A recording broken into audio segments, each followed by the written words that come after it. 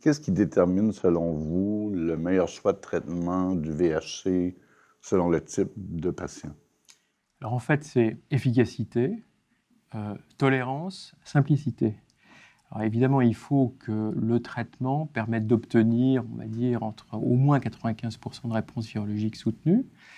Ensuite, euh, il faut qu'il soit bien toléré, c'est-à-dire que si on peut ne pas traiter sans interféron et sans ribavirine, c'est encore mieux. Donc on va privilégier ce type de traitement. Il faut que le traitement soit court.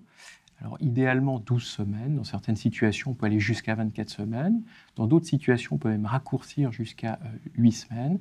Et puis simple, c'est-à-dire qu'avec le moins euh, de comprimés possible et le moins d'interactions médicamenteuses possibles.